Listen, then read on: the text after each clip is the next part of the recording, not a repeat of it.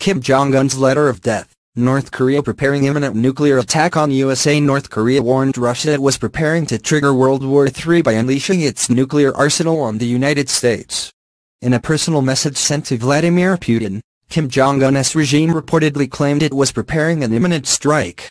The Russian leader then passed the intelligence on to Washington which prompted Donald Trump to tone down his rhetoric during his East Asian trip this week, according to the Daily Star. The revelation comes as President Trump met with his Russian counterpart at a major trade summit in Vietnam this week. Valentina Matvienko, Russia's chairwoman of the Federation Council, reportedly revealed last month she had received a letter sent from Pyongyang addressed to Mr. Putin. Sources claim the letter contained a direct warning of an imminent nuclear attack on the U.S. However the Kremlin has since denied reports of the message, with officials saying they were unaware of any letter. The U.S. leader has been engaged in a bitter war of words with dictator Kim, with the pair trading insults and threats of nuclear war for months. But although Mr. Trump warned the tyrant do not try us while in Seoul this week, he refrained from the sort of personal insults he has previously used, including labeling Kim Little Rocket Man. While addressing South Korean leaders on the ever-increasing threat posed by the nuclear-armed North, the U.S. leader directed some of his words at the war-crazed tyrant. He said, the weapons you're acquiring are not making you safer, they are putting your regime in grave danger. Every step you take down this dark path increases the peril you face. North Korea is not the paradise your grandfather envisioned. It is a hell that no person deserves. Mr. Trump was in Seoul on November 7 as part of a 12-day, five-nation tour of East Asia. The South Korean capital is just 35 miles from the heavily fortified demilitarized zone where Kim has thousands of heavy weapons trained on the sprawling city. The president's trip was chiefly aimed at trade and drumming up support for a solution to the North Korean crisis.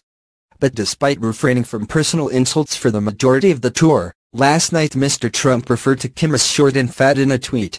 He said, why would Kim Jong-un insult me by calling me old, when I would never call him short and fat? Oh well, I try so hard to be his friend, and maybe someday that will happen.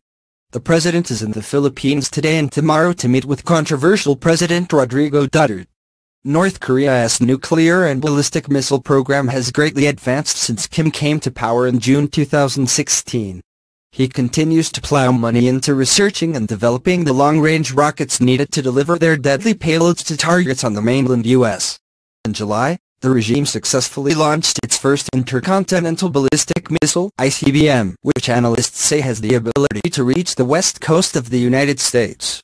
U.S. military experts believe the North has at least four nuclear warheads which are small enough to attach to the rockets. The regime could also possess the technology to produce hugely destructive hydrogen bombs, after South Korean intelligence saw signs of a suspected H-bomb test in September. Kim's regime claimed it successfully detonated a 120 kiloton device which it says is small enough to be carried on one of its missiles.